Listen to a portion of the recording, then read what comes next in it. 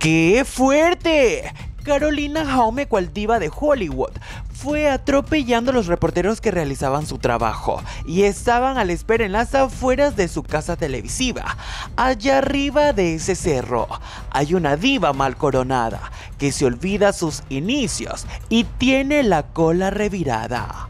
No puede ser. Por casi atropella a un reportero, pero se puede ver que se le va llevando hasta el micrófono. Y ella, ni respetuosa, paró para pedir disculpas, cual malcriada huyó sin conciencia. ¿Será que la comida turca le afectó la cabeza?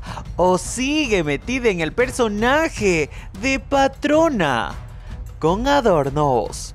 ¿Para qué fuerte? Patrick Noriega.